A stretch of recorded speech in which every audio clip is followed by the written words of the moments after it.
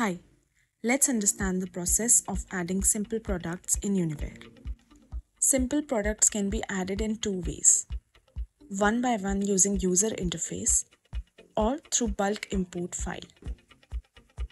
While creating the products, there are few things to keep in mind. In Uniware, product SKU code can be created with the length of 3 to 45 characters.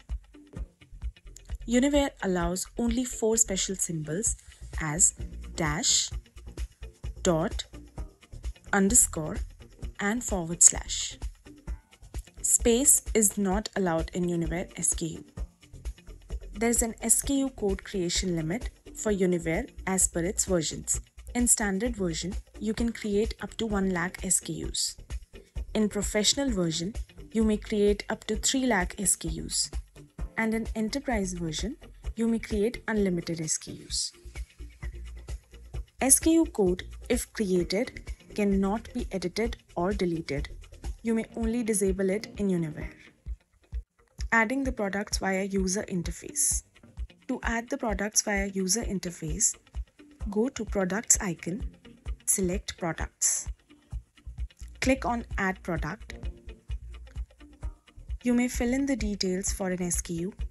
The mandatory fields to be filled in are SKU code, product name, product category, GST tax type code, HSN code, enabled or disabled tab, and product type. Unicommerce suggests the sellers to use the same SKU code that they have been using on their primary marketplace. Rest of the fields can be filled as per seller's choice.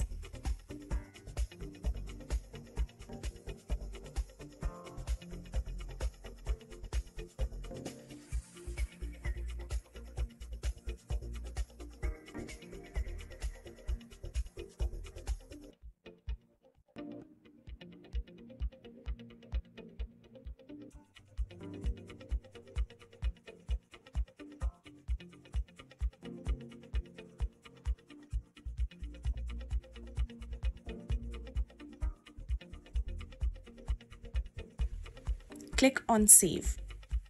Now you may search for your SKU to make sure it is successfully created.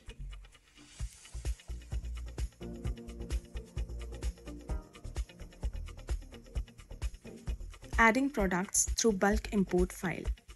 For bulk creation, you may go to Tools and select Import. Search for the file named Item Master you may choose the import type as create new and update existing. It allows you to create new SKUs and also update the existing SKUs at once. Download the CSV file and the mandatory fields to be filled in are product category, product code, product name, GST tax type code, and HSN code.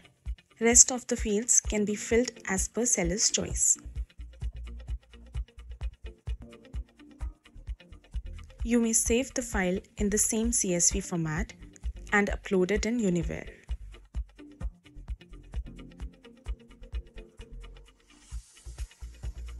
Once the file is successfully imported, you may search for your SKUs to make sure that they are successfully created.